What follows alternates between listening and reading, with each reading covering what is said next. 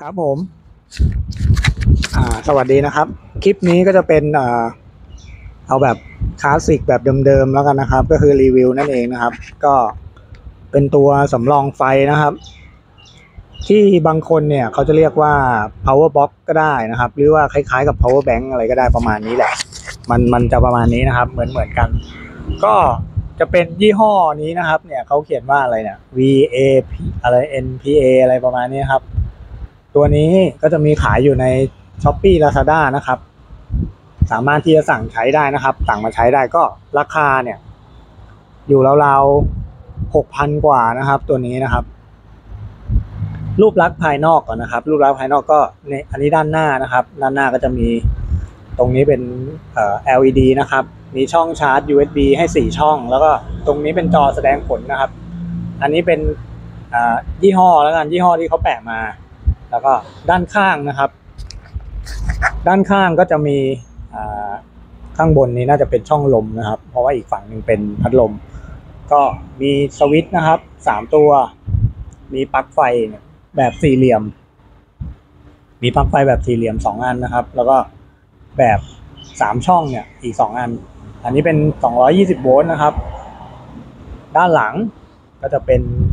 สเปคของเขานะครับ สเปคก็จะมีเขียนว่ามีชื่อรุ่นนะครับ อันนี้เป็นโมเดลชื่อรุ่นนะครับ แล้วก็ AC output 220 โวลต์นะครับ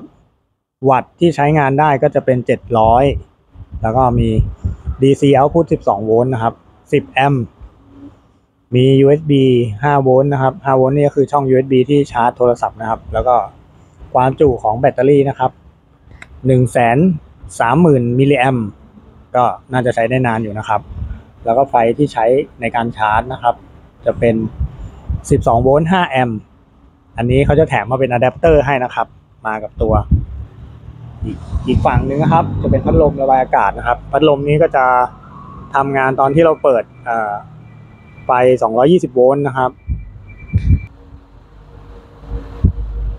ครับทีนี้ก็จะมาถึงการทดลองใช้งานแล้วกันนะครับนะครับ เราก็ เปิด อันนี้อันนี้เป็นเป็นรอยหลุดๆนี่คือเราเราเปิดดูข้างในนะครับ เดี๋ยวเราจะเปิดดูข้างในกัน ก็มันจะมีสวิตช์นะครับ ตัวแรกเขียนว่า LED นะครับ ก็คือตรงนี้นะมันจะมีไฟนี้เปิดต้องเปิดตัวอ่า power ด้วยนะครับนี่ก็อย่างนี้นะครับสำหรับคนที่แบบว่าไปตั้งแคมป์นะครับ ไปใช้ตามเต็นท์หรือว่าที่มืดๆนะครับ ก็จะมี LED เปิดนะครับ เวลาเปิดนะครับ จอนี้จะแสดงผลนะครับ ลองลองเข้าไปใกล้ๆเลย นี่มันจะมีบอกนะครับว่า ตอนนี้ไฟแบตเตอรี่กี่โวลต์นะครับ เปอร์เซ็นต์ในการใช้งานแล้วก็ข้างล่างเป็นไฟ AC นะครับ เดี๋ยวลองเปิดดู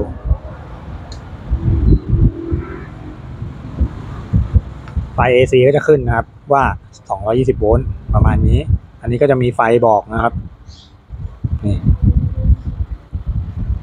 ทีนี้เดี๋ยวเรามาดูข้างในกันนะครับ คือมันใช้งานดีแน่นอนตัวนี้รับประกันนะครับ เพราะว่าเราทดลองมาแล้วนะครับ เปิดพัดลมก็ติดเปิดไฟก็ติดนะครับ อันนี้เป็นการทดลองนะครับ อันนี้เป็นการทดลองใช้นะครับ ก็จะเป็นหลอดไฟนะครับ หลอดไฟ เวลาใช้ก็คือเปิดตัว power ก่อนนะครับ แล้วก็เสียบปลั๊กนะครับ เปิดไฟนี่นะครับอ่า มันจะใช้งานประมาณนี้นะครับนี่สว่างนี่นะครับ ประมาณนี้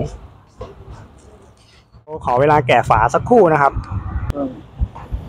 ครับผมข้างในก็จะประมาณนี้นะครับ เราแกะออกมาให้เพื่อนๆดูนะครับ ก็จะมีแบตเตอรี่ชุดชุดนี้นะครับ ไอสีฟ้าจะเป็นแบตเตอรี่นะครับ อันนี้อันใหญ่นะครับ ความยาวนี่ประมาณเกือบฟุตหนึ่งอะ แล้วก็ กว้างประมาณเกือบหกนิ้วนะครับ อันนี้พัดลม แล้วก็อันนี้เป็นชุดวงจรนะครับ ชุดวงจรก็เป็นวงจรที่เกี่ยวกับ คิดว่าน่าจะเป็นวงจรที่เกี่ยวกับไฟ AC 220 นะครับ แล้วก็มีชุด USB กับ LED อยู่ฝั่งนี้นะครับ เนื้องานแผ่นปิ้นอะไรพวกนี้ก็ทำมาดีนะครับ ดูแข็งแรงทนทานแล้วก็มีวงจรโปรเทคนะครับกันช็อตกันไฟ ก็สำหรับใครที่อยากจะลองใช้นะครับ หรือว่าอยากจะลองซื้อมาใช้นะครับ เดี๋ยวลองกดลิงก์ด้านล่างที่รายละเอียดของคลิปได้เลยนะครับสำหรับคลิปตัวสำรองไฟนะครับ ก็จบแค่นี้นะครับผมขอบคุณครับ